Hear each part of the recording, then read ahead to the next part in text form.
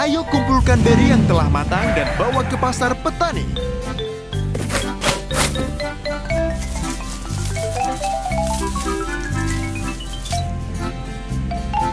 Kita berhasil! Beri yang kita tanam menghasilkan buah yang besar dan manis.